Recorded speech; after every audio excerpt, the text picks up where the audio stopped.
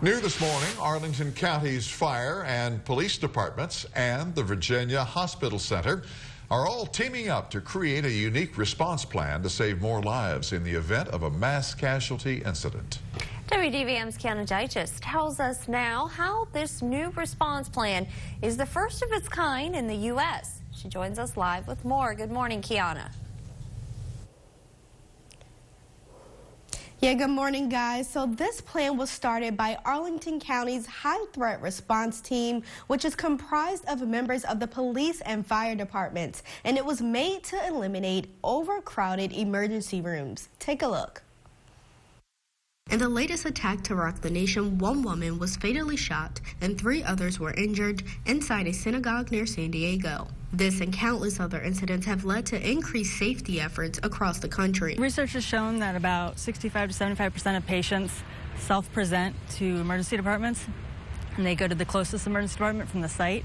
And so learning from those uh, incidents around the country, we determined that we would need to be prepared to uh, receive a large amount of patients in a short period of time. In Arlington County, a new response plan is underway between first responders and the Virginia Hospital Center to save more lives in the event of such incidents. It started with evaluations of uh, nationwide man-made mass casualty events, whether that's an active shooter, vehicle ramming attack.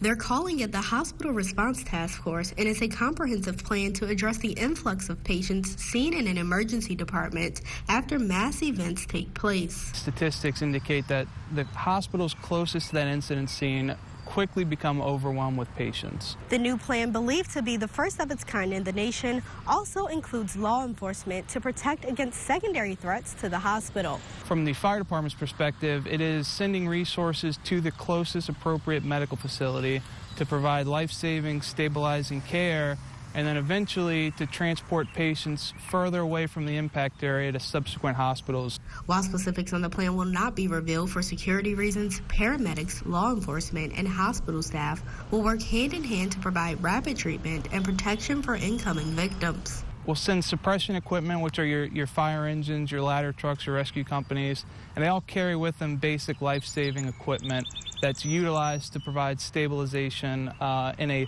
in a life-saving uh, capacity.